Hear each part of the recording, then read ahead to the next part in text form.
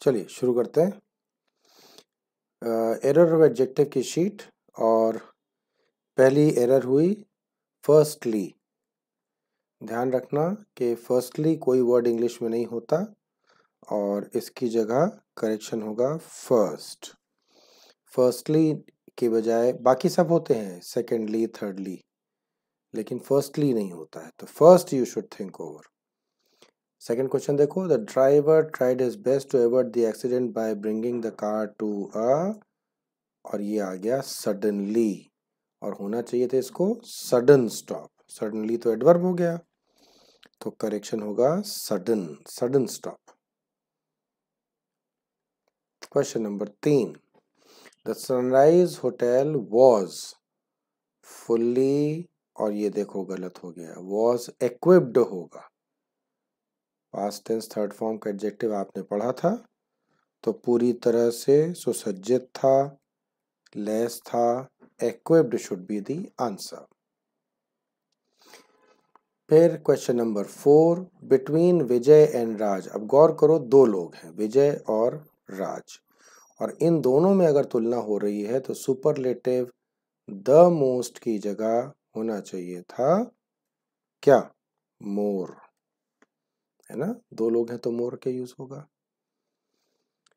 अच्छा और from all accounts I learn that he is the best and honest अब देखो, ये गड़बड़ हो गया। द बेस्ट तो सुपरलेटिव एक बन गया। और एंड के बाद ऑनेस्ट की जगह यहाँ क्या होना चाहिए था? ऑनेस्ट का भी सुपरलेटिव लिया जाएगा। तो ऑनेस्ट का सुपरलेटिव क्या होगा? The most honest the best and the most honest member of the cabinet कई बार ये भी किया जाता है कि जब दो एडजेक्टिव समान स्वभाव के होते हैं तो दूसरे वाले एडजेक्टिव के साथ द नहीं लगता।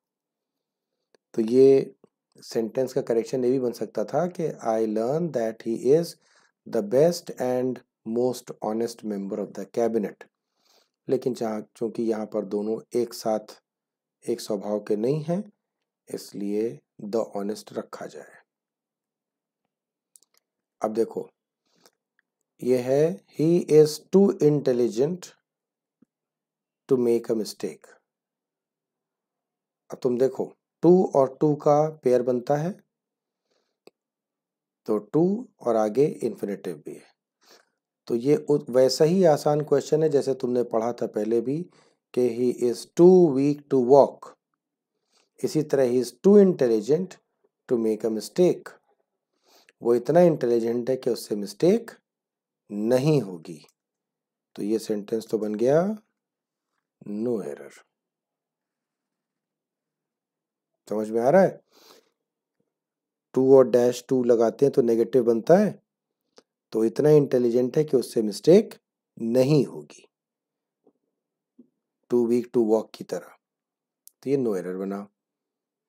अब ये देखो the flood situation in this year is और देखो सुपरलेटिव आ गया वर्स्ट और आगे क्या लगा है?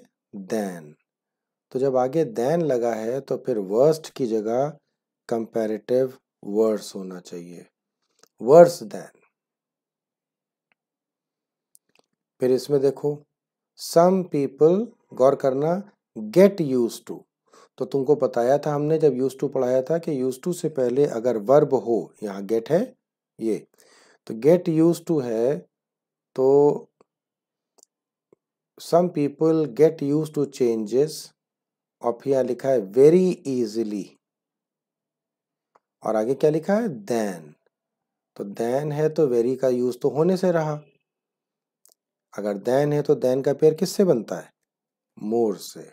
तो more easily than others do. ठीक है? अब ये देखो। ऑफ़ ऑल द फ्रेंड्स तो अब सारे दोस्तों में आई हैव हैड जो इतने भी दोस्त मेरे हुए हैं, अब सारे दोस्तों में ही की बात कर रहा है। तो सारे दोस्तों में अगर ही की बात कर रहा है तो सुपरलेटिव तो यहाँ सही लिया गया है। भाई दो में होता तो कंपेरेटिव लेते। तो of all the friends I had he is the most helpful ये तो सुपरलेटिव हो गया। और आगे देखो क्या लिखा है? एंड तो एंड के बाद तुमको पैरेललिज्म पढ़ाया था। तो अब यहाँ लेस तो गलत आ गया। अगर पहला वाला सुपरलेटिव है तो दूसरा वाला भी सुपरलेटिव होना चाहिए। तो क्या आएगा? लीस्ट एरोगेंट ठीक? तो दो सुपरलेटिव हो गए द मोस्ट हेल्पफुल और दूसरा लीस्ट एलिगेंट ठीक? अच्छा अब अगला क्वेश्चन देखिए। His father scolded his son ठीक है, उसके फादर ने उसको डांटा। फॉर स्पेंडिंग हिज कैसा मनी हार्डली अर्नड हार्डली हम लोगों ने पढ़ा था एडवर्ब में बात हुई थी। हार्डली क्या मतलब होता है? मुश्किल से मत बोल देना। हार्डली माने नेगेटिव हो जाता है। और ये पैसा कैसा है? मेहनत से कमाया गया। तो हार्डली तो गलत हो गया। हार्ड होना चाहिए। हार्ड अर्नड मनी हुआ तो मेहनत से कमाया गया, पैसा हो जाएगा। अच्छा अब ये देखो। ग्यारह। अर्ली राइजिंग, यानी जल्दी उठना, ब्रिंग्स आउट। देखो बेटा, यहाँ थोड़ा फ्रेज यूज़ हो रहा है। ब्रिंग आउट द गुड नहीं होता है। ब्रिंग आउट द बेस्ट होता है ब्रिंग आउट द बेस्ट मतलब उसकी सबसे अच्छी क्वालिटी उजागर होती है ब्रिंग आउट द बेस्ट खुद ही एक पूरा फ्रेज हुआ तो brings out the best in a writer Question 12. At the end of the Second World War, the USA was stronger than any country in the world. अगर एक noun की तुलना उसके अपने वर्ग या प्रकार से की जाए तो एनी और ऑल द के साथ क्या लगता है? अदर है ना बेटा? तो यहाँ पर आना चाहिए था any other country in the world यहाँ पर गलत हो गया। यहाँ आएगा other country in the world understood USA की तुलना दुनिया के किसी भी देश से करेंगे तो अदर लगाना पड़ेगा। Question number thirteen he can play आप कैन प्ले तो वर्ब हो गया। तो he can play as good as right ओहो। As well as right he can play as well as right अब जब दो एडवर्ब दो वर्ब हैं तो वर्ब के लिए हमको चाहिए adverb as well as the principal was enough kind ये तुम जानते हो कि इनफ काइंड गड़बड़ हो गया। इनफ काइंड की जगह क्या होना चाहिए था? काइंड इनफ इनफ हमेशा किसके बाद आता है? एडजेक्टिव के बाद। तो पहले काइंड आएगा, फिर इनफ आएगा। याद है ये point question number fifteen he is making matters a lot more words अब देखो अ लॉट मोर और वर्ड्स ये क्या बन गया? डबल कंपैरेटिव बन गया। मोर भी है और वर्ड्स भी है। तो यहाँ पर क्या होना चाहिए था कायदे से? यहाँ से आप खाली मोर को हटा दें। ठीक ना? तो अगर मोर हट जाएगा तो ये काम सही बन जाएगा। तो अलॉट वर्स हो जाएगा। अकेला कंपेरेटिव बन जाएगा। अच्छा फिर है the books for the new course are expensive और फिर देखो क्या लिखा है? देन अब अगर यहाँ देन दिया है तो फिर मोर फिर गायब है देखो। तो यहाँ क्या आना चाहिए था? मोर एक्सपेंसिव देन तभी तो पेयर बनेगा। अब बन गया more expensive than the books for the old one तो देन देखा तो मोर का आना ज़रूरी था। अब बेटा ये ध्यान से पढ़ना एग्ज़ाम क्वेश्चन है। According to the recent census census होता है वो जो पॉपुलेशन की काउंटिंग वगैरह करते हैं। तो अब देखना the population of Mumbai is greater than Delhi error of comparison comparison क्या है यहाँ? इज़ ग्रेटर देन है ना? ये कंपैरिजन हो गया। अब देखो द पॉपुलेशन ऑफ़ दिल्ली की तुलना द पॉपुलेशन ऑफ़ मुंबई की तुलना दिल्ली से हो रही। तो क्या मिसिंग है? तो दिल्ली की भी पॉपुलेशन होनी चाहिए। और दिल्ली की पॉपुलेशन के लिए हम क्या ले सकते हैं? पॉपुलेशन सिंगुलर है। तो लिया जाए दैट और फिर ऑफ़ अब ये दैट किसके लिए आया? पॉपुलेशन के लिए। अब बन गया सही पैरेलल मुंबई की पॉपुलेशन और दैट आया दिल्ली की पॉपुलेशन अगर इसमें कोई कंफ्यूजन हो तो ज़रा वो नोट्स देख लेना चेक करना, उसमें मिल जाएगा तुमको यही sentence question number 18 everyone felt that the big glittering diamond was most unique.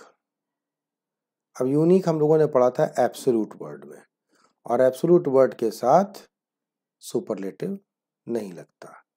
तो इसको सिर्फ़ आप यहाँ से हटा दें। Was unique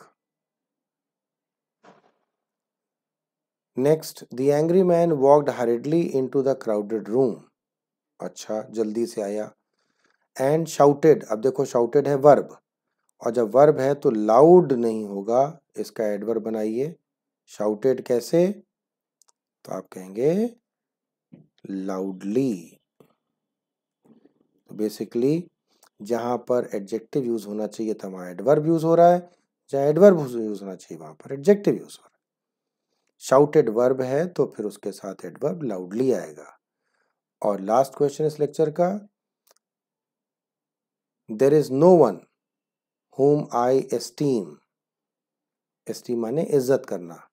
होम यहाँ सही है, क्योंकि सब्जेक्ट से पहले लगा है तो होम सही है। तो कोई ऐसा आदमी नहीं जिसको मैं ज़्यादा इज़्ज़त देता हूँ। एस्टीम वर्ब है तो हाईली भी लिखा है, ठीक है, बहुत ऊँचे स्तर पर। ओहो, देखो फिर वही आ गया देन आ गया आगे। तो फिर जब देन आ गया तो फिर इसका साथ ही वापस लाओ। मोर हाईली देन